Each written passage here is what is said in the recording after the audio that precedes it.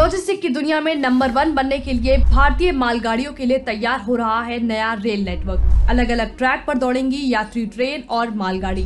भारत में माल ढुलाई के लिए बन रहा है 3000 किलोमीटर का नया रेल नेटवर्क। अपने विशाल नेटवर्क के बावजूद भारतीय रेल कई विकसित देशों से पिछड़ी है। खास तौर पर माल ढुलाई के मामले में देश अभी भी काफ़ी पीछे है। लेकिन डेडिकेटेड फ्रेट कॉरिडोर के बाद भारत लॉजिस्टिक की दुनिया में एक अलग पहचान बना लेगा। भारतीय रेलवे अपनी कमाई का तिरसठ फ़ीसदी हिस्सा माल ढोकर लाती है, लेकिन उनकी कोई पूछ परख नहीं होती, जबकि 27 फ़ीसदी कमाई देने वाली यात्री ट्रेनों पर ज़्यादा खर्चा हो जाता है।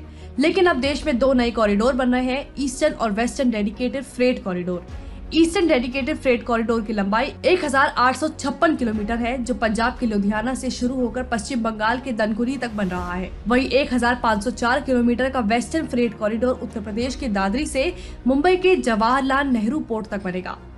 इन कॉरिडोर के निर्माण से मुख्य रेलवे लाइन से ट्रैफ़िक कम हो जाएगा।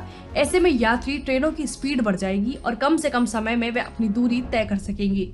इसके अलावा फ्रेट कॉरिडोर की रेलवे लाइन मालगाड़ी की स्पीड को 25 किलोमीटर प्रति घंटा से बढ़ाकर 75 किलोमीटर प्रति घंटा तक कर देगा। माल ढुलाई परिवहन में इजाफा होगा और मालगाड़ियाँ बिना किसी समस्या के कॉरिडोर पर दौड़ेंगी। मालगाड़ी के लेट होने के कारण उसकी लागत बढ़ जाती है, लेकिन अब स्पेशल ट्रैक बनने से ये संकट दूर होगा, क्योंकि डेडिकेटेड फ्रेट कॉरिडोर पर कोई सवारी गाड़ियाँ नहीं होंगी, जिससे मालगाड़ियों की औसत स्पीड 25 से बढ़कर 75 किलोमीटर प्रति घंटा हो जाएगी।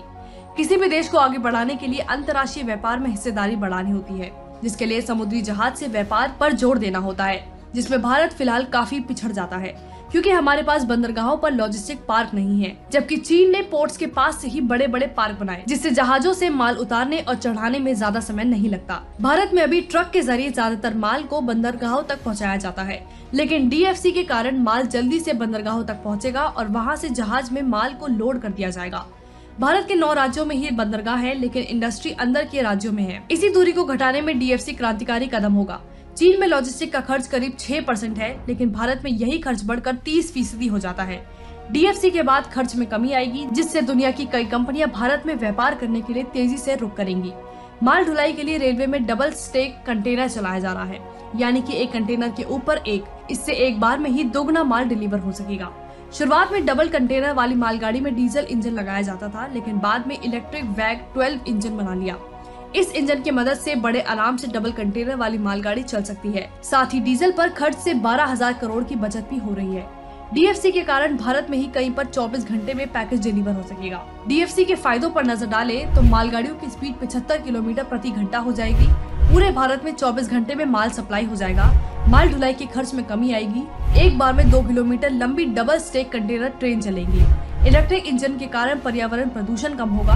बंदरगाहों पर जहाजों को ज़्यादा इंतज़ार नहीं करना होगा। डीएफसी के कारण लाखों लोगों को रोज़गार मिलेगा। कारोबारियों को इम्पोर्ट एक्सपोर्ट में मदद मिलेगी। और भारत लॉजिस्टिक की दुनिया में आगे निकल जाएगा। डेडिकेटेड फ्रेट कॉरिडोर के कारण मालगाड़ी ही नहीं, यात्री ट्रेनों को भी नया जीवन मिलेगा। क्योंकि जब पुराने रूट पर चलने वाली मालगाड़ियाँ डीएफसी पर शिफ्ट होंगी तो सवारी गाड़ियाँ समय पर पहुंचेगी। और नई ट्रेनें भी चलाई जा सकेंगी। उद्योगों को डीएफसी से कई तरह के फ़ायदे होंगे। उन्हें कच्चा तेल मंगाने में आसानी होगी। साथ ही तैयार उत्पाद को भी देश के अलग अलग स्थानों पर जल्द भेजने में मदद मिलेगी। इससे भारतीय उत्पादों की लागत में कमी आएगी, जिसका सीधा फ़ायदा भारत से होने वाले निर्यात को मिलेगा। ब्यूरो रिपोर्ट, एक भारत न्यूज़।